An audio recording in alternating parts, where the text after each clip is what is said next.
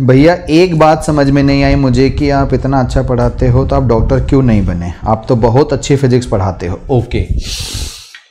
चलो, वैष्णवी ने कहा कि मैं डॉक्टर क्यों नहीं बना?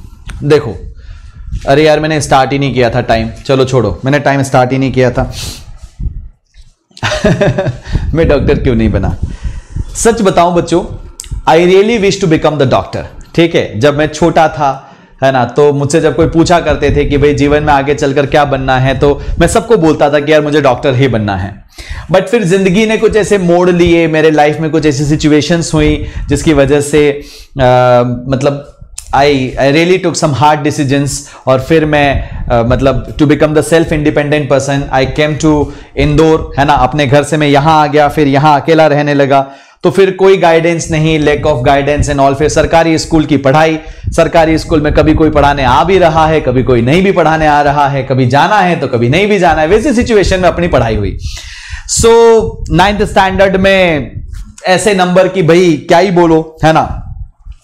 फिफ्टी सेवन परसेंटेज मेरे टोटल बने थे, जिसमें मैथमेटिक्स में थर्टी थ्री मार्क्स और सोशल साइंस में थर्टी थ्री मार्क्स थे। तो आप अंदाज़ा लगा सकते हो कि एक नंबर भी इधर उधर होता तो 80 बच्चों की बेच में से 19 स्टूडेंट्स जो है आ, उसमें पास हुए थे बच्चों है ना? मतलब मेरे आ, उसमें सेक्शन में से न, 19 बच्चों की बात कर रहा हूँ। टोटल तो थोड़े ज़्यादा थे।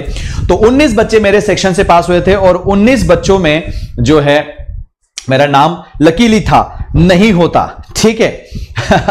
अगर सोशल साइंस और मैथमेटिक्स ने साथ नहीं दिया होता, जितना उन्होंने दिया, है ना? उपकार ही किया मुझ पर नाइन्थ में। सोशल साइंस और मैथमेटिक्स ने कि चलो तैंतीस तैंतीस आ जाते हैं तुम्हें, ठीक है?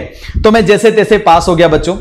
फिर जब टेंथ स्टैंडर्ड आया तो नाइन्थ स्टैंडर्ड में जब मैं था तो हमारे स्कूल में रूल था कि जो कोई टॉपर होता है ना, उस टॉपर को सम्मानित किया जाता है। स्टेज पर बुलाकर उसको फूलों का दस्ताना दिया जाता है। फूलों का जो है, उसको बुके दिया जाता है बच्चों, और उसे पाँच सौ रुपए का इनाम मिलता है। फाइव हंड्रेड रुपीज़ मैंने उस दिन डिसाइड किया कि यार, ये पाँच रुपए मुझे अगली बार चाहिए, चाहे कुछ भी हो जाए। मैंने बहुत ज़्यादा मेहनत करी फिर टेंथ स्टैंडर्ड में। बहुत ज़्यादा। मतलब जो चीज़ समझ में आती, समझ ली, जो ना समझ में आए सो रट ली कोई बात नहीं, ठीक है? लेकिन बहुत मेहनत करी। लकीली मैं डिस्ट्रिक्ट टॉपर हो पाया, ठीक है? तो टेंथ स्टैंडर्ड क्रॉस करने के बाद में जब इलेवंथ में मैंने लोगों से कहा कि भाई मुझे डॉक्टर बनना है तो लोगों ने मुझे बताया कि भाई डॉक्टर बनने के लिए बायो पढ़नी पड़ती है और डॉक्टर बनने के लिए बहुत सारा पैसा चाहिए होता है। मतलब जिस सिचुएशन से तुम गुजरे हो, उस सिचुएशन से मैं भी गुजरा हूँ, मुझे लोगों ने लिटरली कहा कि उसमें इतना सारा पैसा चाहिए और तू तो खुद कमाकर खुद अपना पेट पालता है। दो वक्त के खाने के लिए तू दिन भर काम करता है, उसके बाद अपनी पढ़ाई करता है, तू कैसे डॉक्टर बन पाएगा? तो वही लेक ऑफ़ गाइडेंस था। तो फिर नहीं बन पाए। तो फिर प्रिंसिपल सर से पूछा तो उन्होंने कहा तेरे नंबर बहुत अच्छे, तू मैथमेटिक्स ले ले। मैथमेटिक्स ले ली। क्यों ले ली? आगे चलकर क्या बनना है, क्या करना है? कुछ नहीं पता था बच्चे। ठीक है when I when I go to my college जब मैं वहाँ पर, मैंने जब बीएससी में एडमिशन लिया, तब मुझे बहुत सारी स्ट्रीम्स और इंजीनियरिंग उन सब बातों के बारे में पता चला। राइट तो हम तो उस दर्द के मारे हैं। है ना? जिस दर्द का कोई ठिकाना नहीं, हम तो उस हथियार के मारे हैं, जिस हथियार का कोई ठिकाना नहीं। देना था साथ जिन्हें हमारा, उनका कोई ठिकाना नहीं। तो बात